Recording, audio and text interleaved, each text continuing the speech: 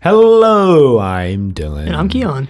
And this is Zenith, that podcast where we fall into a volcano because this week we watched Volcano. This week we watched Volcano, yeah, we watched Volcano. written by Alan Prior, Directed by Desmond McCarthy. and aired on January 21st, 1980. Oh boy, here we go. This is going to be an interesting episode. Uh, once again, Doctor Who Watch we're airing after Shada, after not Shada. We're airing when Shada would have aired. Airing Really? after. Airing when it would have aired or I after when it so. would have No, because Shada was six episodes, so this would be right at the tail end of when Shada was airing. Would have you been mean airing. Shada? Or Yeah, whatever. Right. That's what I meant. and after was it Power of Kroll?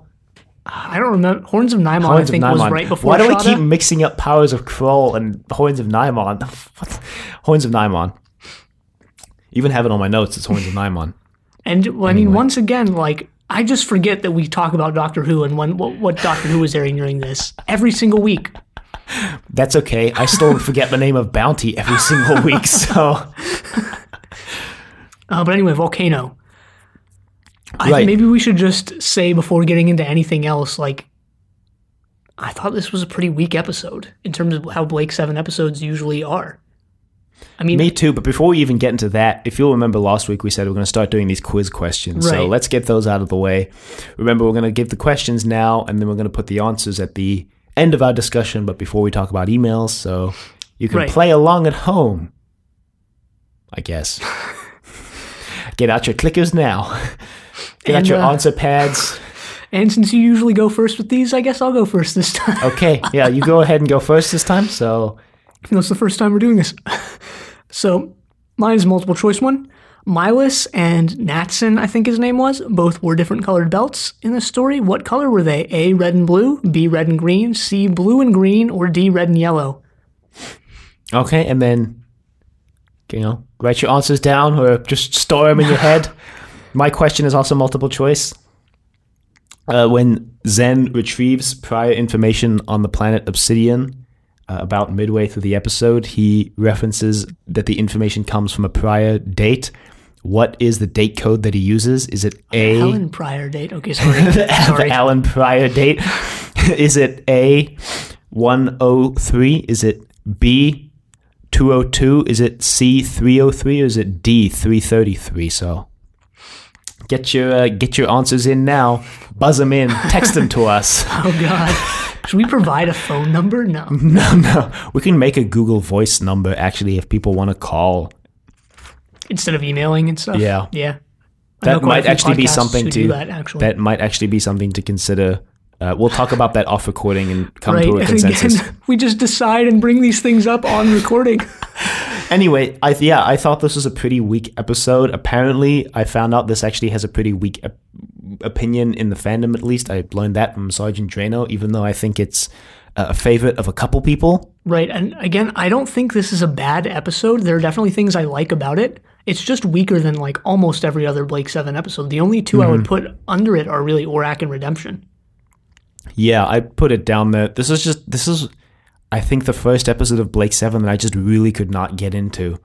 I could I could I just couldn't- focus on it at all. And honestly, yeah, I felt the same way, which was interesting to me because there was a lot of like conceptual stuff that could be pretty interesting, right? Like the pacifist group, Mm-hmm. they have they're on this volcano planet, they have this self-destruct mechanism, but really I couldn't get into any of it. And I think at the end of the day, for me, the reason why I came down to that is that I actually think sending Dell and Dana down to the planet was like a critical mistake on Alan Prior and Chris Boucher's part. I think I think the reason why it's a mistake is because these are both new characters to the show, and I think putting both of the two new characters down on the planet together really didn't give me anything to get invested in. Yeah, I completely agree with that. I think, you know, you could have had either Dell or Dana and then Yeah, it could have probably been- Avon. Dana and Avon, or, or Maybe even Callie, Callie. and Callie and Dell. Callie and Dana would have been interesting. Villa and Dell would have been really interesting. Yeah.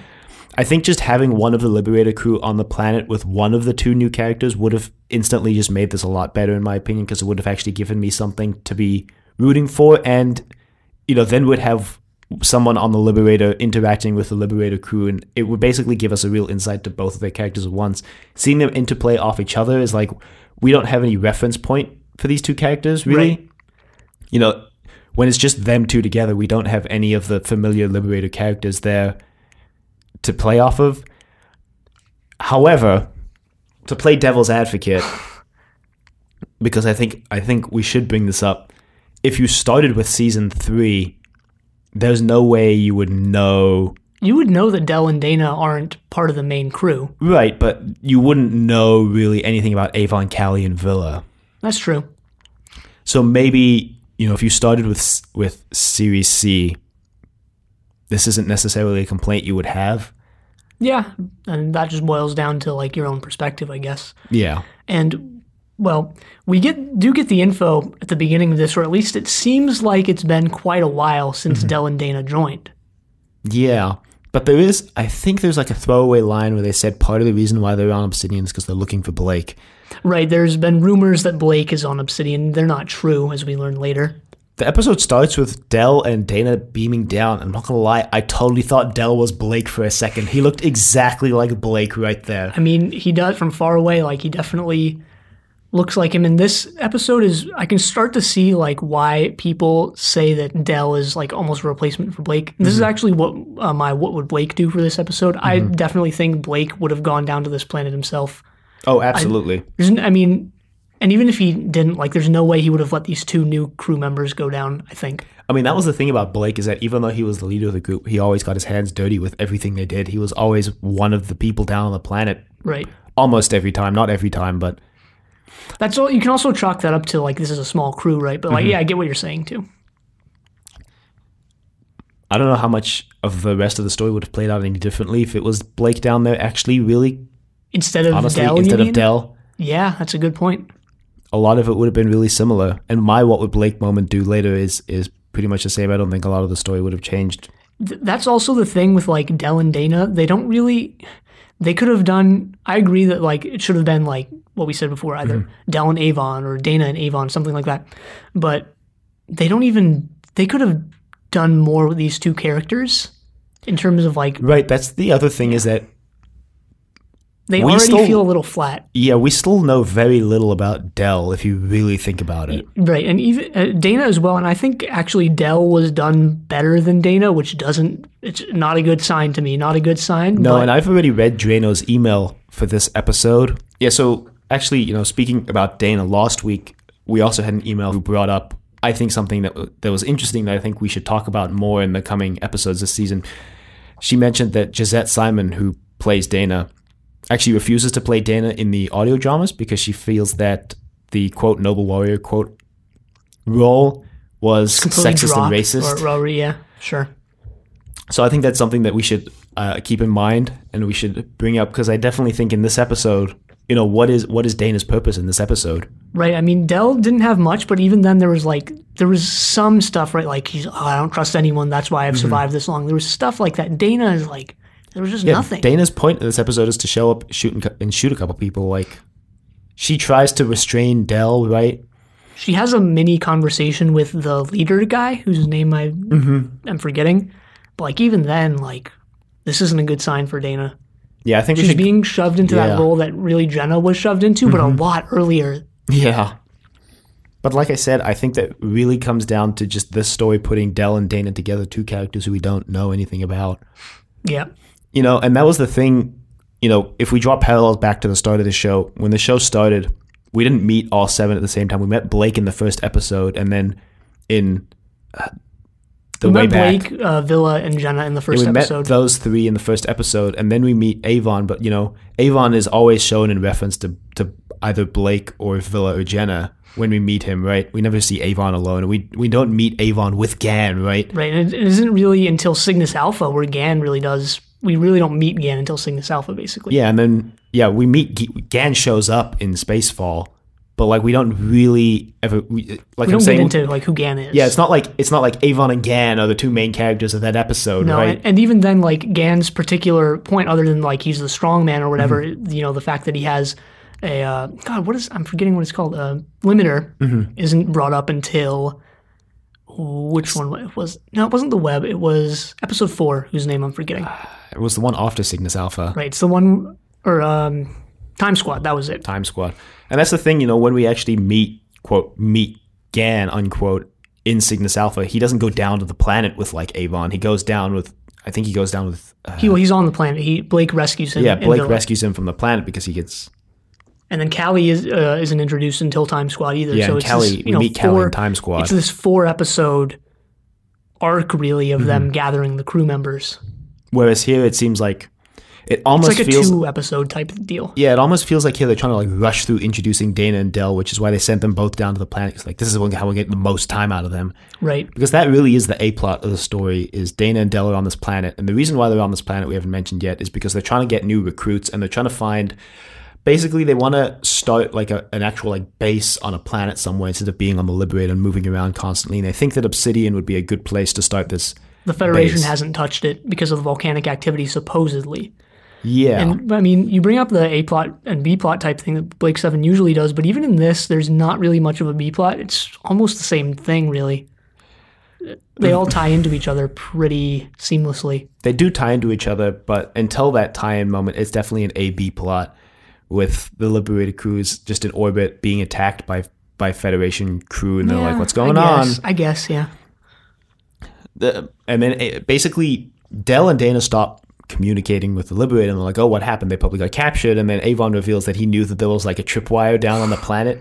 This is my what would Blake moment, uh, what, would Blake Blake do. do moment. Because I don't think, because Avon reveals that he basically knew about this, but he kept it hidden from them and didn't tell them about it. And Callie's like, wow. In my opinion, I think Blake would have told them about it. Mainly because I don't think Blake would have wanted them to get captured. Uh, you know, this is assuming Blake doesn't go down to the planet himself. Right. This is like if Blake hadn't told them about like the forbidden zone or whatever, Yeah. that's a minefield or something like that. Yeah. Almost. Like, I definitely think Blake would have told them about it, if only because he wouldn't want them to get captured. Because, you know, say what you will about Blake, he knows how to recruit people to his cause at least. So he knows that if they're getting, you know, if they trip that wire, if they're getting captured, that's not going to look good on them. And could Right. get them killed because they really don't know anything about these people. Like, if these people are actually hostile, they need to have the, the drop on them kind of thing. Well, like we mentioned, they set off the alarm, alerting the people. They show up and they like missed them. Yeah. but it's it's some sort of like knockout gas or something. yeah. They bring them to their base, which actually looked pretty cool. I like the sort of Yeah. swirl design. It looked very ancient. It looks al- it looked almost like they don't touch on this, so this is just speculation.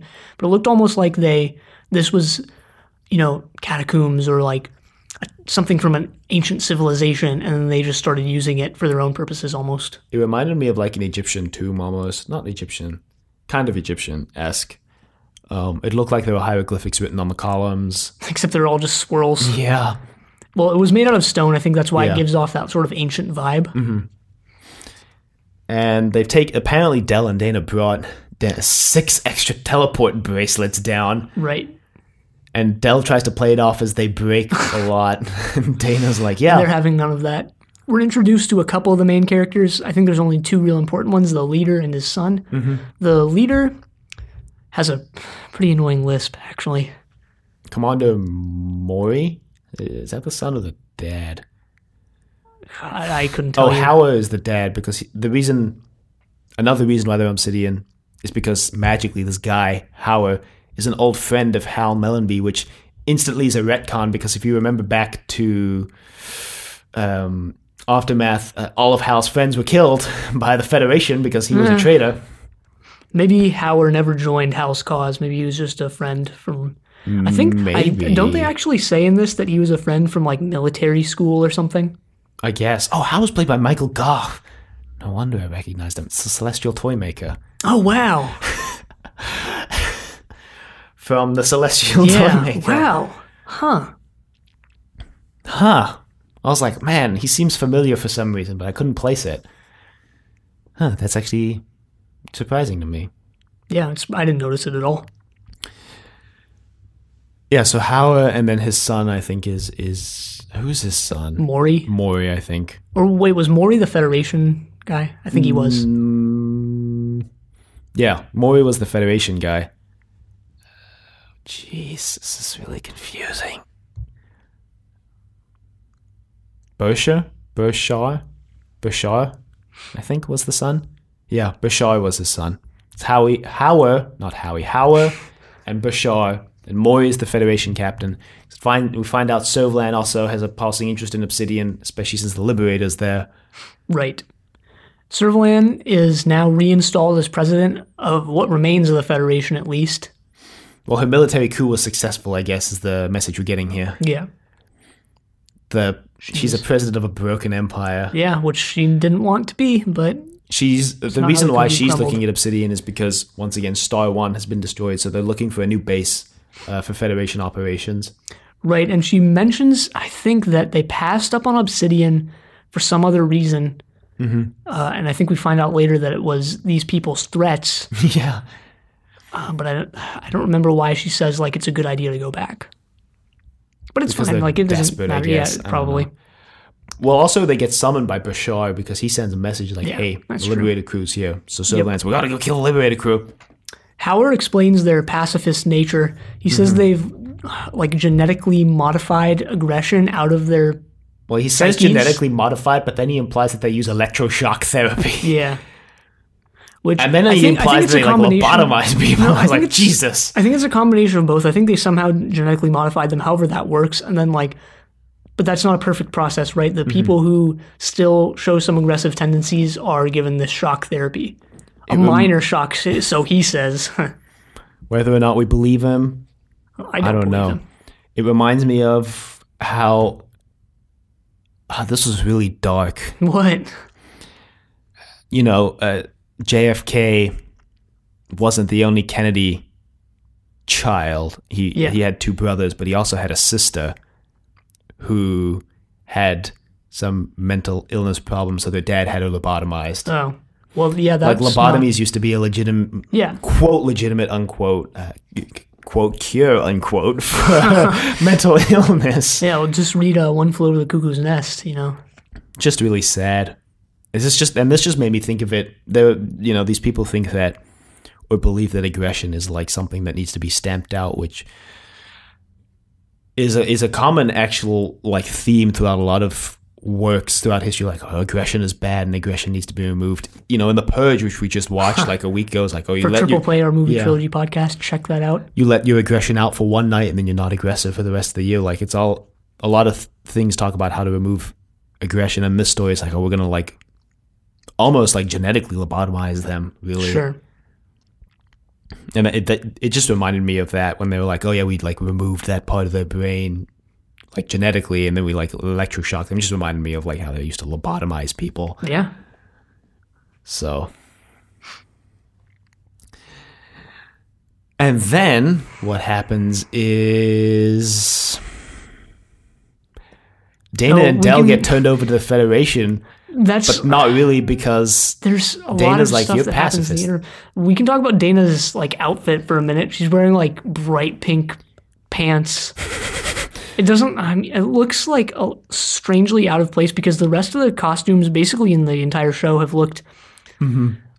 like either medieval tunics of some sort or like. I mean, Series B started out with that way, way sci-fi look for everybody. Yeah, but if you remember like- Blake's massive sleeves and, and Jenna's like Starfield pattern shirt, And, and even Avon in this looks pretty sci-fi. He's wearing that black thing again.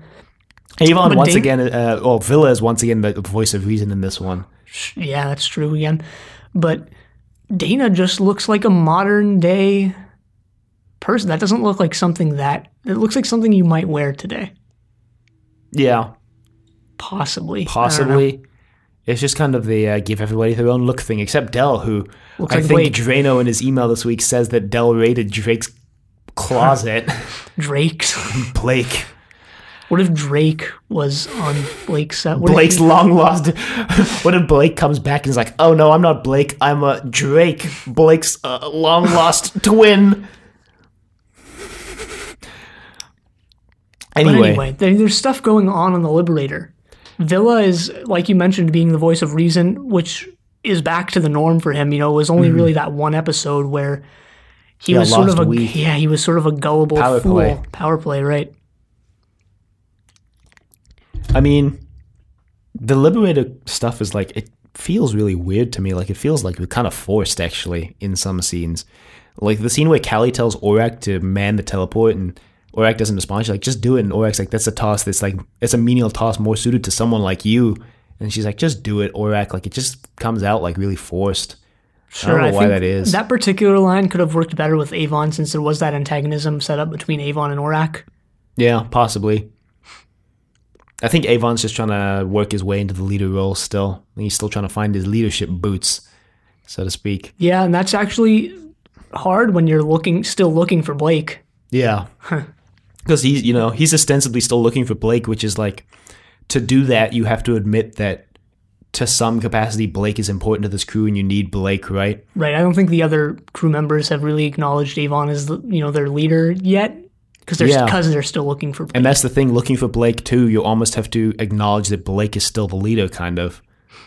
yeah. Which, in doing so, that makes it I mean- very difficult for Avon to step into any sort of leadership role. Yeah, I mean, look, they're looking for Blake, right? Not Jenna. So Yeah, I mean, exactly, Even though. Even though Jenna did send that message, like, "Don't look for me," you don't come looking for me, I'm done with you criminals, you crims. even though she was probably the one of the most criminal of all of them, honestly. That's true. anyway, then what happens is the Federation people take the bracelets and they're like teleport, which apparently becomes through really sketchily in the teleport room because Callie just believes that it's Dell and Dana. Maybe she hasn't Right.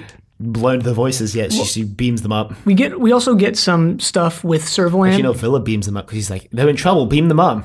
yeah, Callie's skeptical, and Villa is the one who was like, "Just do it," and he flips the switches. But we get some stuff with Servalan. Um, there's this Federation commander, I guess, named Mori, Mm-hmm. and he Servalan is you know using him to do her dirty work. He's work. the proto Travis for the story, basically. basically, She tells him that if he wins, he can have the Liberator in his own command. He can become basically Supreme Commander, which is what Servalan was before. yeah. Which who knows if that's even a promise she's willing to keep. I th- yeah, the way she says it, I thought she was just going to backstab and kill Mori as soon as this was over. Really, Right, and there, there's this again running trend in this season of like rumors and reported speech and like how people leverage that to their advantage. Because Servalan knows that you know it's just rumors, I guess, that Blake was on Obsidian. Mm-hmm. But she points to like the the value and how that put her like her in a position of power that Avon Right. and the rest of the crew believed those rumors. Mm-hmm. Which is something they're continuing on basically from aftermath. Yeah. is interesting. I want to see where that goes in this season. I And mean, later, I mean later on, there's that line from Howard: "The truth is absolute." the truth is absolute. That's what he says. So We'll get more into that later when he actually says it, which is near the end of the episode. yeah, they beam up, and now Callie tries to telepathically tell Avon that there's people on the ship, and I guess Avon just just ignores her because he seems to just show no acknowledgement of Callie's telepathic message. He just doesn't even seem to to believe that she's sending him anything. Right. This might have something to do with how Avon is kind of skeptical of Callie's abilities in the first place. Possibly. But then why even include Callie trying to use the telepathy there? Just cause I don't just she's trying to do it. We hear it as the audience, but yeah, again, it seems like Avon doesn't really pick up on it. Avon's I also trying to do- fight off a couple ships which are attacking them. I th- I think he does pick up on when she messages sends a message to him that there are three people. Mm-hmm. I think he does because that's what like gives him the not incentive, but that after after he hears that he's like, all right, I can handle this. If I take them by surprise, there's only three guys. I can do this. Except he doesn't. Yeah, So he almost does. He he gets shot in the arm, but yeah, almost. He shoots two of them. And in our new segment, does Avon hold his gun like a six shooter this week? Uh, the surprising answer is no. what a shock! He holds it like you. Everybody else holds the Liberator gun. There's that there's that dramatic draw of his gun before he beams down to the planet, mm-hmm. which was kind of western esque, I guess. Western-esque. Yeah. But I was shocked to learn that one week after we introduced the segment, the answer is already no. What if he doesn't do it again? Oh God. I feel like when he drew the gun, he would have done like a, an exaggerated flip if it was if the Liberator gun like allowed you to do that. If it Yeah, wasn't but just except like it's got that cable that runs across to the power pack. Which, and it doesn't have like it's not like a traditional gun shape either. It's more Right. just uh, air hockey puck. yeah, glued to a stick. Yeah, but Avon gets shot in the arm and he's like, damn, that's my good arm.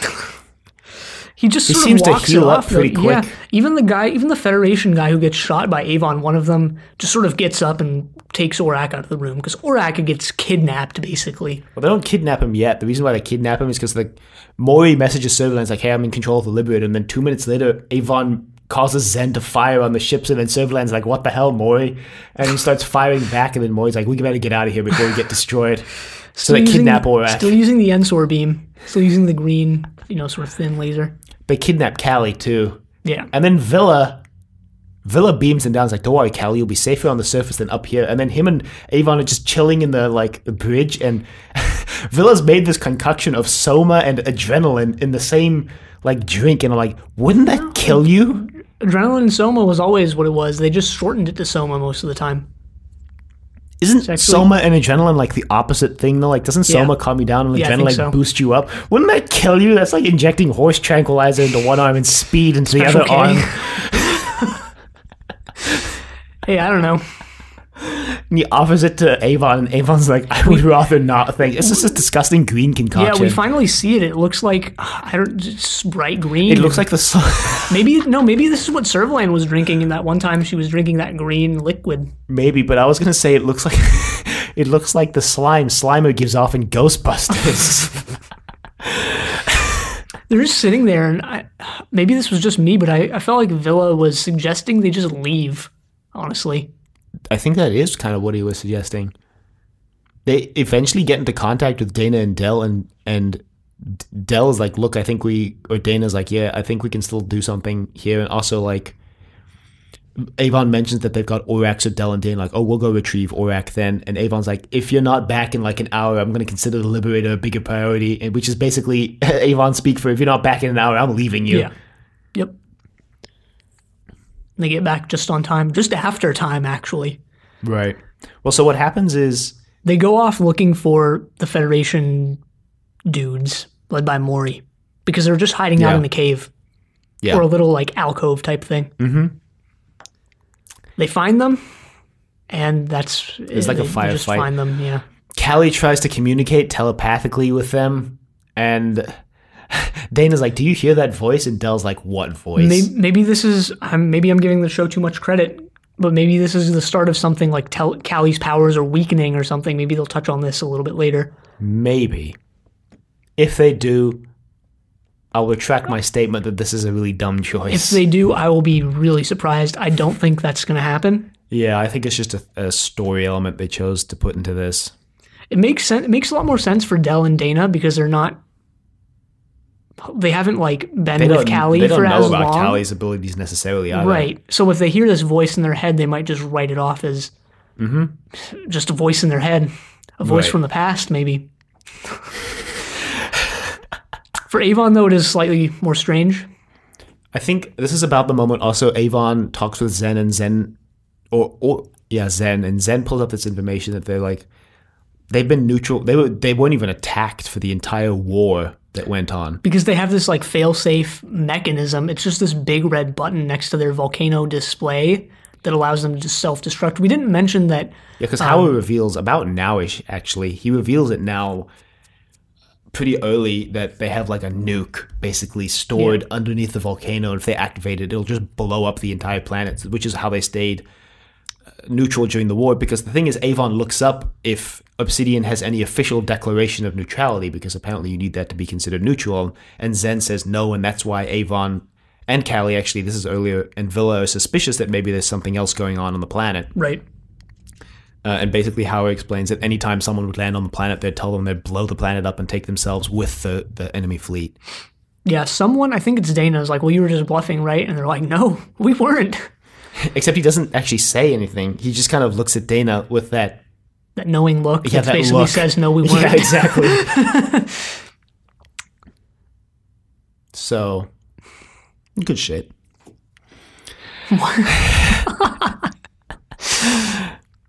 uh, basically, also Dana and Dell. I think before they go off, is this before or after they go to find away? It's Oh, before. we, we didn't mention actually that it was Ber, Bershar Mm-hmm. who like sort of sold them out. He contacted the Federation, and that's because And that's what I, I was about to mention is that Howard find, finds out that it was Bashar. yeah, I didn't fully pick up on what was going on here, and I probably should have like gone back and rewatched this scene to to understand it more. But like, Bashar, his pacifist, mm-hmm. his like pacifism, the process they used to pacify themselves didn't like fully work on him. He had these really aggressive tendencies. Mm-hmm. But And like, Hower but said- Hower was like, he was okay with it. He wanted like, he wanted someone who was more aggressive than the rest of them for some reason. He said uh, he wanted someone who could think like his enemies. Yeah, and he just used his son because his son. I guess uh, coincidentally, his son was the person who who filled this role or whatever. Yeah, Which is like interesting. well. I mean, it's interesting. Like they have this like total pacifist policy, so to speak, but they actually don't really, right? They're just it's sort of just a front. They they Mm-hmm. It's just- kept this guy yeah. in their back pocket essentially in case things go wrong. underneath the planet. yeah, so They're gonna. Bl- it's not really a nuke. They call it something else, but they see they're gonna blow up. it's a self-destruct mechanism that y- it uses the power of the volcano or something. Yeah. And then they they also introduced this Oh, thing man. about the air like not being safe. I don't know what you're about to mention, but I just remembered that they mentioned this thing about the air not being safe when when Bershar takes them outside first to hand them over to the Federation, and Dell's like, "You don't spend a lot of time up here," and he's like, "Yeah, the air is not so great." And then they kind of bring it back later with a volcano because Dell's like, "Yeah, that bomb underneath is the volcano like spreading the radioactive particles all over. Is that why the air sucks?" And and Hower just doesn't answer. So it's, it's probably why at least they bring it back. Unlike, Hor- not Horizon. God, what was the one with Inga and Ushton? Oh man, I don't remember now. I The usually one with remember the, Blake the Seven one with titles. the air that's like really thin. yeah, Was that vo- that wasn't voice from the past? Uh, hostage. right, hostage. But oh man, we they also like in this sort of scuffle with the Federation. This one guy falls off a cliff into the volcano, and like I was so shocked. I and kind of I don't I don't want to say I disliked it because I did think it was like kind of funny, mm-hmm. but like he just it's so so dramatic. It's like his death is given even more focus than like Travis's death. like he just he, it's it looks really funny too. He falls in the volcano. Yeah, It's just it's interesting. yeah. I'm like, why are you giving this Federation guy like this death? I, I mean, you want it kind of reminds me almost of in Redemption when that guy falls off the railing. oh, jeez. There are a lot of hilarious deaths in Blake Seven when you really think about it. Yeah, there are. During all of this, Avon has actually been trying to fix the Liberator because they did so much damage through the force wall that they don't even have navigation, so they can't go anywhere. So the auto repair systems are working, but they don't have enough power either. So Avon's like, we gotta, we gotta move real quick, cause, and then Avon's like, turn on all emergency power and move it to navigation, and then Zen doesn't respond, and and then Avon's like, Zen, emergency power to navigation, and and then Zen's just like, emergency power systems were destroyed in the battle, they're gonna need to be repaired as well, and Avon's like, what? So the Federation's closing in on them while Zen tries to repair the systems. They go a little overtime actually. If the Federation just shot them, they would be, you know, dead. Yeah, well, so this is sort of humorous scene. The Federation lands on the planet. Servalan is actually at the planet in a ship on the other side of the planet, so shielded from the Liberator by the planet. So the Liberator doesn't actually know she's there. Right. When did they bring this up before with like two opposing ships on opposite sides of the planet? I seem to remember something along these lines. You know, I'm remembering it too, but I'm not remembering that story. The Liberator does it once. They move around the planet so that they can't be seen. Right. Was it Weapon? I don't remember when remember. it was, honestly. And so, yeah, this is kind of humorous moment when they beam up Dell, Dana, and Orac, and Dell's like, "Why aren't we moving?" And Avon's just like, or Vila's like, "Because we can't." and then eventually they get it fixed and they leave. And Vila says some humorous line to end the episode that I don't even remember because that's how little attention I was paying. It was it was it was um if that something like if that's work then I rather not Oh, that's right. If that's if like that's that. winning, I would rather Oh, lose every right. time. right. Yeah, If this Right, is winning, I would rather lose every time. Because Callie says that both they themselves and Servalan and the Federation lost, and only the obs- people on Obsidian, Obsidian Knights, Obsidianers, Mm-hmm. No, they were named like the Obsidians. No, no, no. they were named the um, the Py- Pyroans or something. No, Pyro. Yeah, Pyroans. Pyroans. And Oh, they- oh, Callie says that only they made it out winning. Yeah. Oh, yeah. That's also how the Federation ships get destroyed. They tell the Liberator to move out of the way, and then when the planet blows up, it like destroys a bunch of the Federation ships or damages them, so they can't chase the Liberator down. Right. So is Mori dead? Does that mean Mori is I don't dead. know because that would imply that maybe Servalan is dead too, but we know Servalan's not going to die like Yeah. that. I wonder if I don't know honestly, and I wonder if Mori is a retur- uh, recurring character. Well, I guess we'll find out. Uh, I'm curious to know if he's going to be the proto Travis for a while. His or- name means death, right? Like Mori. So Yeah. Yeah, I don't know. Just overall, I was like really underwhelmed by the story. I had a really difficult time like really getting into it. yeah, again, the one thing like that I was actually interested in was like this trend that continued on from aftermath and even power play mm-hmm. about like the nature of like truth and, and belief and stuff like that. Hower has this line at one point, and I forget what prompts him to say this, but he goes, "The truth is absolute." And again, I didn't look too much into this, but like good on this show, even for even raising like epistemological and like ontological questions like this. Right. And I mean, there's definitely theory out there that you can read, and not even theory, even like fiction as well, that deals with like the nature of truth and stuff like that. And we bring up, we brought up race in Aftermath because, well, Dana is basically the only main character on this, the only non-white real main character on the show so far, and Hal as, uh, as well. Yeah.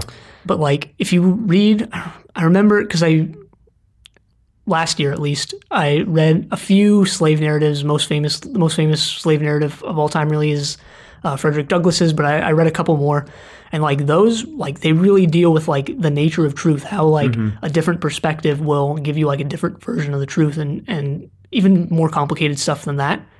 I mean, it def- depends how granular you want to get with the truth. Truth, because I feel like there is a point at which truth is absolute, right? Like, I open the door. That like, if I open a door, the truth is I open the door. Now, Mm, But like even then, that's so caught up in like the language of it that like I don't know. I have some specific beliefs on this that we don't really need to get into, but yeah, I don't know. I feel I just feel like if you get down to the most granular thing you can, there there is an absolute truth. It's something. but like we mentioned this before too. Again, in aftermath, but like there's all when you use language, you use rhetoric. Can you really? And I'm not like I'm not using this as a rhetorical question. I'm really wondering and stuff. Can you really like get at truth? Can you really get at facts using rhetoric? Who knows? It's something. so. It's something I think this story and this season so far is actually really exploring. Mm-hmm. And I again, I have some very specific opinions on that that we don't need to get into. Maybe we'll possibly get into them later on Mm-hmm. in the show. later in the season, maybe. Unless they just completely drop this next week, Yeah, like they, they, could totally every could. week. Yeah. But yeah, I mean, like I said at the beginning, I really feel like the story would have been a lot stronger if we had one of the main Liberator crew with either Del or Dana down on the surface and then had one Yep. of them up on the ship.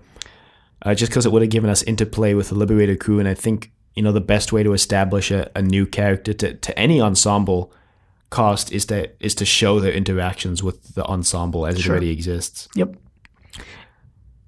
I mean, this is that's how Ocean's uh, twelve and thirteen did it, right? You know, when they when they had to bring new people in, we we always saw their their interactions with the people who were already Ocean's in. Twelve also did it through those questionable flashbacks. But hey, right.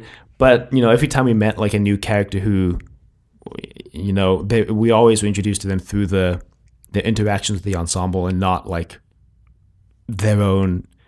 I guess like interactions with like another new character, like in this episode. now that you bring up Ocean's Eleven, this is all, this is like the classic Ocean's Eleven, right? Where like Right. these characters are interacting, yet there's one not much to them, Mm-hmm. and they already know each other. And again, like we mentioned at the beginning of this episode, there there has been some adventure. There there's been some amount of time between power play and this, right? Yeah. So obviously Dana and Dell already know each other fairly well, uh, Mm-hmm. enough to like go down to the planet or whatever. And again, Dell has that one line like I don't trust anyone, and Dana like that's even that is so minor, but Dana doesn't even have anything like that. Right. I mean, even this could have worked better if we had some line, because I thought initially that they were down there because this was going to be some sort of test, right? That Avon was testing them to see if they were loyal.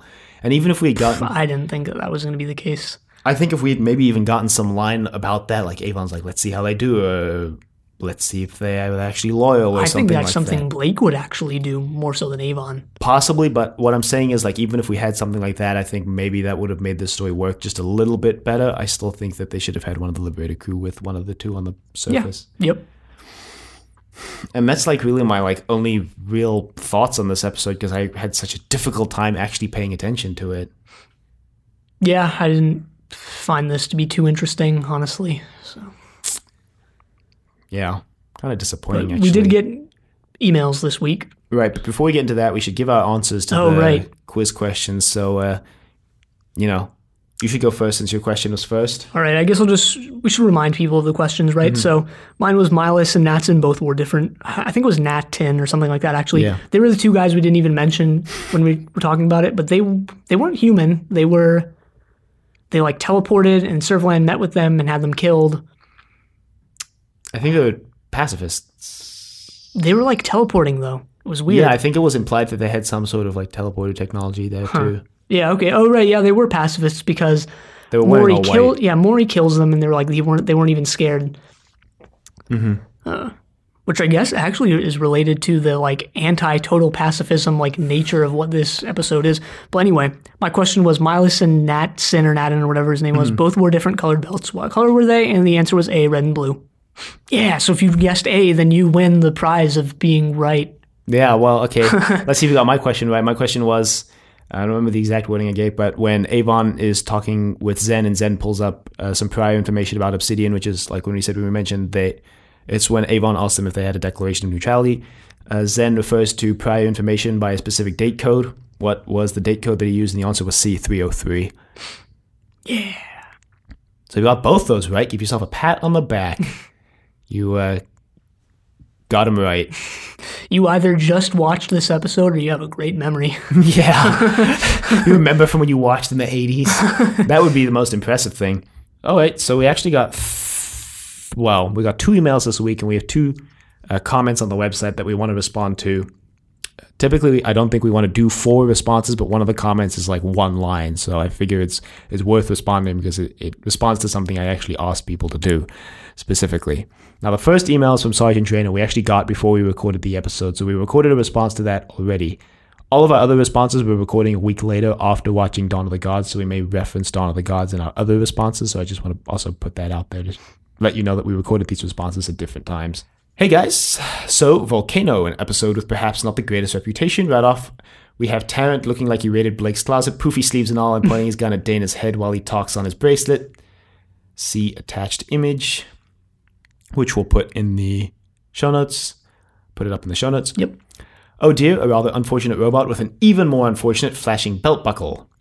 Did you guys spot Tarrant wandering around with his gun not plugged into its battery pack, telephone cord just dangling behind him like a tail? I didn't See catch that. attached. Did not catch that, but once again, we'll put that image also.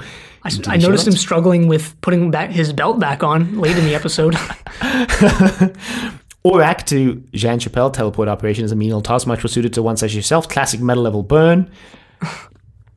Gotta love how Hower casually plays down how they've become pacifists by treating babies with electric shocks, psychological ma- manipulation, and propaganda, and later demonstrates his own pacifism by having the robot shoot his own son to death. We forgot to mention the robot because I made a note that it looked like Kamelion Oh from God, Doctor yeah, Who. we didn't even mention this robot. It didn't. Uh, no, it didn't really look like Kamelion from Doctor Who It reminded me of Kamelion. Because of how it like wasn't there Yeah. ever. and he just kind of walked in, shot someone, and left. And then he tops that up by blowing up the entire planet. Yeah, we mentioned that. How like, are they really pacifists? They blow up the entire planet. no, they're not. They're really not. Pretty great scrap the Liberator gets into, simultaneously fighting an enemy fleet and a boarding party. Yeah, I thought the fight was shot pretty well. I didn't mention that. This is a new director for the show. I thought it was shot pretty well. It was pretty intense, actually, pretty exciting. Wasn't really invested in it though because of the rest of the story. But anyway, these Federation troops are dressed a little differently than the usual ones. Their helmets, especially, are different. Any thoughts as to why? I didn't actually notice that. I didn't notice that either. That's probably something we should have noticed. But again, this story wasn't the most engaging. But this is possibly just due to the state the Federation is in. Yeah, I was going to possibly because the Federation is in such a, a, a, collapsed state, or maybe these are either elite troopers or just a lower level of troops. Sub troopers. We also forgot to mention that Vila reveals that his like D grade level idiot he bought that grade. Yeah, he he's just been telling people about that because he didn't want to like get placed. Yeah, into, apparently he didn't want to be a space captain, so he bought a lower grade so that he wouldn't be placed as a space captain. Right, And Avon's again- like, I have difficulty believing that, and Vila's like, What? That I bought the grade, and then Avon's like, No, that you would have been a space captain. Yeah, well, again, this ties into what this series is doing with like belief and like people saying stuff and how that all works. Vila is, in my opinion, the least trustworthy person in the Liberator crew, even though he's always the voice of reason. I feel like We also know his backstory can constantly changes, and the only person we hear his backstory from is him. I feel like he's the most mysterious person, yeah, really. we definitely just thinking about it, we know the least about him. Yeah, and, like even this revelation, which should be like a big thing, like, oh man, he bought this rank. Like, I think that calls into question a lot of things because now I don't think you can believe that he was that rank or that he bought it because who knows what you can believe? because now it's really like, well, what is the truth? He's probably just a pathological liar. Because he's the one telling us The this. truth If is we- absolute, right? Well, I mean, if we, because he lived in the Federation, if we saw some Federation records about something, that would at least provide credence to one of the stories. But since he's the one telling us, Maybe, possibly. he's our only source of information. And if he's not, then the Federation is. So, like, who do you really want to believe and who can you believe in this situation? And again, how does, like, the truth, how does, one, how does belief change? How does the truth change? And how do facts change? Because there is a difference between truth and fact. Mm-hmm. But how do all those things change depending on, like, the position, the rhetorical position, and how those are used and who's saying things? I don't know. I'm not, I don't have any answers to any of these questions, just something I want to raise. Mm-hmm. Wow, Callie's t- telepathy is really not working very well this episode. She tries to warn Avon about the boarding party, but he doesn't hear her. On the planet, Dana does hear her, but misunderstands what Callie's trying to tell her. Right? I think we mentioned that. I don't remember Dana missing. I yeah, I don't remember that part actually. Tense bit at the end there when Trooper Mori grapples with Tarrant near the crevasse over Orac, bites off one of his own fingers, and then plummets into the abyss screaming, My precious. That's supposed Wait. to be a reference to Lord of the Rings. I guess so. Was that more? That wasn't Mori who fell, was it? I don't remember, Oh but it might, it oh might have been. Yeah, because Mori's the one who kidnapped Orac, so it might have been actually. Yeah. Oh my god. Maybe this is one we're gonna have to go back and rewatch. I don't think we paid enough attention to it. So at the end, the crew argue about who won and who lost. Callie says everyone lost except for the Pyroans, even though they're all dead now. So what do you guys think? Who won this one? Who lost? I think they did win, honestly. they got basically everything that they wanted out of this.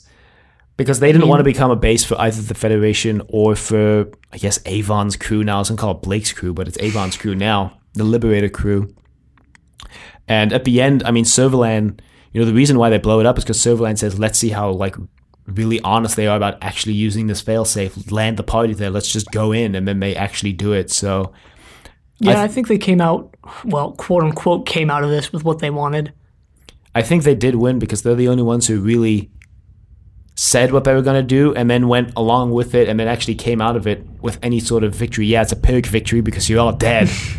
but did the Liberator crew come out of this with anything? No. Except the fact that Orac almost got kidnapped and the Liberator almost destroyed. Did Servalan come out of this with anything? No. Mori's dead. Even if Mori didn't die when he fell into the volcano, the planet blows up and he didn't get teleported. he didn't get teleported up to a ship because the Federation doesn't have teleporter technology, so he's dead anyway. Yeah, I guess Mori is for sure dead. Darn, So- they could have done more with Mori. You know, Could have done Mori with him. Oh, jeez. So Servalan loses a lot too. So I think they did win. Sure. Also, why are they called the Pyroans if their planet is called Obsidian? Good question, Drano. I don't know the answer to that one. It's kind of like how humans are called humans and not know. Earthens. Terrans. It's called Terrans a lot in a lot of stories. But even still, they. But That's what even Earth though, is called, but- Terra. But Yeah, but I was going to say most of those stories they still refer to it as Earth, unless they refer to it as Terra. Yep. Terra Prime. So so episode for me took a long time to get through it. Yeah, Three out of seven. Looking forward to you guys talking about it. Though I was amazed how much you like the keeper. Maybe you'll like this one too. No surprise, we didn't. Sergeant Drano Station Seven, the door. so thanks. Thank you once again for emailing us and staying in touch with us and posing some interesting, I think, questions about the episodes, noticing things that we didn't notice. Especially in this one. Yeah. I'm curious to know, actually, Drano, if you want to email us, how long it took you to get through it. Did you watch it all in one sitting, or did you like split it up because you were just so bored by the episode? Because I, you know, we watch these, uh, or at least I watched. I don't want to speak for Keon. I watch these in one sitting. I don't split it up in any sort of way, and I know this one was really difficult for me to get through. I wanted to take a break and stop and come back to it later, but I did. I probably did like a couple times. Just went and watched other videos or something online. I was like, oh, I can't do this anymore. So went back to it or whatever. But again, I think this is one we're gonna have to come back and mm-hmm. maybe we'll have to do a a volcano redux episode. Who knows? maybe. Right. As usual, this email section is a future incarnation of ourselves. One week later, One week later. from what was to you a minute ago. All right, so this second email is from good correspondent. Uh, I don't know why I said it like that. The regular correspondent is what I was actually going for. Hi again, Zeniths 2. Good at corresponding, I guess. Good at corresponding. All right, so we have Oh yeah, we're Zeniths too. the, the like headings again. We have original credits. Just wanted to point out to you that the thing moving back and towards on the original credits for Blake Seven was a security camera, not a gun. They Yep. were only seen briefly in the first two episodes. One Yep. of them was on the prison ship. This That's is a really embarrassing yeah, it is. thing to have pointed out to us. Especially because the first shot of the first episode, barring the intro sequence, is a camera. Especially since we went 26 episodes calling it a gun. 26 plus for me. I've probably right, 'cause I- 26 plus. I watched eight episodes twice plus the tw- regular run of 26, so 32 for me. But it's correct. We've corrected ourselves now. Thank you, RG. All right, science fiction. Oh boy. Oh boy. I've been following your discussion about sci-fi with great interest, partly because I have both an MA and a BA with a literature focus. That means Nice. I'm uniquely qualified to say, dost thou want fries with that? Many novels which were once considered sci-fi have now been reclassified as dystopian future. I'm thinking in particular of things like Brave New World, 1984, Fahrenheit 451, and The Handmaid's Tale. Rather than considering anything with both science and fiction in it to be sci-fi, I think it is better to see it as anything which has a fictional science in it the words are round the wrong way. So H.G. Wells' Time Machine is sci-fi due to the fact that time machines don't currently exist; they are fictional. Whereas in 1984, there isn't any science that doesn't exist now or existed at the time. Even things like two-way monitors could be constructed in a crude fashion in 1949. 1984 is set in the future, though, and that future is bleak, thus it sits in the dystopian future genre. The role of sci-fi in the past has often been to comment on the nature of humanity, hence why classifying it has been has become a little convoluted. Side note, the concept of soma as a calming drug was used in Brave New World long before Blake 7. Yeah, this is interesting. I really like that definition of, of flipping the words around. Well, actually, let me rephrase that. I like that lens. I'm not going to call it a definition because I don't want to define these things. Mm-hmm. And you use the word classified. That's also not something that I want to do. You bring up Fahrenheit 451 by Ray Bradbury. Ray Brad- Bradbury was an author, an interesting author, because unlike people like Ursula K. Le Guin, who's who was like you know winning awards and like mm-hmm. national book awards and things, and she would go on stage and be like, "Hey guys, thanks for giving me this award for my science fiction book," and people were like, "Well, what the hell? You know, it's not science fiction. Like this is a great work of literature." And he's like, "Yeah, it's also science fiction." But Ray Bradbury was never really like that. He was an author who he wrote what he wrote, and he won plenty of awards and recognition, uh, both in the science fiction community and outside of it. And he was, if I if I'm correct on this, he was always just like, yeah, I, I write what I write, and whatever it is is whatever it is. And he wrote No, plenty that's of not entirely correct. He did come out and say that Fahren- that everybody was interpreting Fahrenheit 451 wrong. well, who knows if he even has the right to say that, but or the authority to say that, let's say. But yeah, he's an interesting author. He's a very interesting and a very good author as well. Yeah, Um, I agree. I don't have much to say on it. The only Ray Bradbury work I've read is actually something wicked this way comes. So, which is bizarre. Um, there's a there's a cool one called Mars is Heaven or some Mars is Paradise, something like that. It's a short story. It's a really good one. Um, yeah, is another interesting point on this science fictional discussion. This sort of um, lens. I'll mention it next. Uh, actually, never mind. I'm not going to mention that. um, but you also bring up um, Soma, uh, how it was used in Brave New World. Soma, I think we actually touched on this in Horizon. Uh, Soma is it's a it's a mythical like drink. It's from multiple world mythologies um, as like a cure all drink, or like a panaceic drink, mm-hmm. which is cool. They mix it with adrenaline here. Yeah. What's in a name? I don't know if you've already worked this out, but the male crew members on Blake 7 are referred to the, by their surnames, except for Vila. I'm not sure if this was to show him as weaker than the other blokes. We never learned Callie's surname, but his species may not have them. Servalan was originally going to be very masculine. They were going to have her wear a military outfit, but Jax persuaded them that it would be far more original to write a character who sounded like a man, but who dressed in a hyper feminine way. Having been a teenager when Blake 7 was airing, I can tell you that androgyny was very popular, with women like Annie Lennox and Grace Jones being seen as the height of fashion. Thus, Servalan's mix of buzz cut and high fashion suited those times perfectly. All this might be why she is only ever referred to by one name in the series. Yeah, that's, That's interesting. That's really interesting. I noticed that Vila was the only one who was called by his first name, the only one of the the guys that is. And I didn't like bring it up or anything because I didn't think too much of it. But yeah, it's a good point. You know, maybe Mm-hmm. maybe he is just sort of seen as weaker. I, I don't, truly don't know. Possibly. But that's that's an interesting point. Maybe it's just because calling Avon Kerr would sound absolutely stupid every week, and calling Tarrant Dell every week would be also absolutely stupid. Well, I don't think Dell Kerr is like kind of Don't forget O- Olag. well, yeah. Olag and Kerr are, are questionable. Roj is also uh, sort of questionable. I don't think Dell is is uh. I don't think it would I feel like sound Dell's more questionable out of than place. Roj. Yeah, I, mm, I don't know. I don't think I don't feel like disregarding Roj for a minute. I don't feel like it would be abnormal to say like, "Hey, Dell," or like Dell went and did uh, something like that. I guess.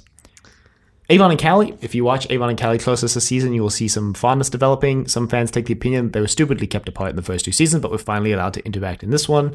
I don't have much to say on that because we haven't watched much of the season. Well, and also Avon is coming into that leader role, maybe going to be Yeah. interacting with people he didn't necessarily interact with as much, like Callie. Um, we also have that point about Servalan. That's really interesting. I didn't really like know any of that. The Avon game, the season we get to play a game. Who does Avon kiss this week? You mentioned that Blake should have been the one to kill Travis too, not Avon, but Blake didn't really care about Travis. He just saw him as an annoying little bug to avoid. It was Travis who had the obsession with Blake. I find it quite delicious that at their final showdown, Travis doesn't even get off by his nemesis. nemesis. Pathetic. Uh, I guess. The, who does Avon kiss this week? At least in the four that we've watched: Aftermath, Power Play, Volcano, just and, Servalan so far, right? and um, Dawn of the Gods was just Servalan. So well, he has what eight more episodes, nine more. yeah. Nine to go. Got to get those numbers Yeah. up, Avon. Those are rookie numbers. the Avon game. This, uh, so I read that one already. Sorry. Servalan gets some action. I quite like how Servalan plotted behind the scenes in the first two series. From now on, she does a lot of work herself. I don't like that as much, but it does put her in some interesting situations with the Liberated crew. She starts to wear less and less white, opting more for colors which don't show the dirt. The actor used to make a grand entrance every day on set, modeling her outfit for that episode. That's actually uh, an interesting thing. Jacqueline Pearce, I believe, is her name. Is the actress's Yep. name? Yep. Uh, we haven't seen Servalan much.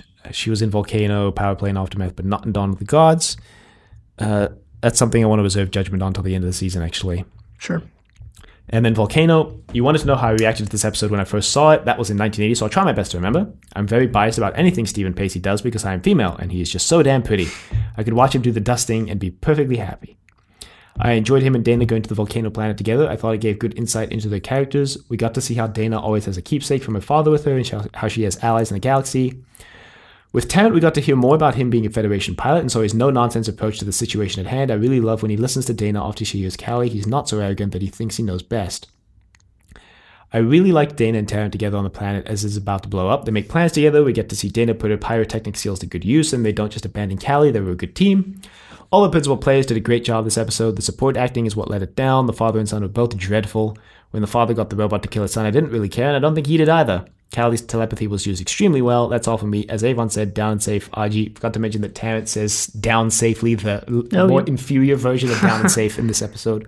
Yeah, all, all this is really good. Like I mentioned earlier, we did really give Volcano the short end of the stick. At this point, you, Dylan, have gone back Mm-hmm. I and went rewatched, back and rewatched Volcano it. Mm-hmm. and noticed a lot more, and we'll discuss that a lot more next week in Dawn of Right. the Gods. But we did really sort of not give it all it was due. We didn't give it what it was doing. We also really didn't give Dana the credit she was due in this episode. Dana really did do a lot more than I think we pointed out that she did. I'm really interested to see that you liked Dana and Tarrant together on the planet. We got a comment on the website, which I'm going to bring in right now, from a guy named John, uh, who says, Yes, I started watching Series C and I liked Dana and Tarrant together. Episodes such as Traitor and the parts in Head Under Harvest of Kairos, which is Promising. promising and also kind of plays into this theory that I had at the start of this volcano episode that potentially if you started with Series C, you may be more okay with the Dana Tarrant pairing because everybody is a new character to you and not just Dana and Tarrant. Yeah. Whereas I believe that if you know the other characters, you're going to have more of a problem with this because it doesn't give you anything to work with and you kind of are wishing that you got more Avon or Callie or Vila, right? But that's actually really interesting and thank you for, for emailing us that. Uh, and I'm really glad to hear from you, RG. Always have good insights. Much like Sergeant Drano, we have such good correspondence on the show, honestly. Just take over our places. just take over. We'll just hand the show the over to RG and Sergeant Drano. They can be the two new hosts, and we'll just like produce from the background or something.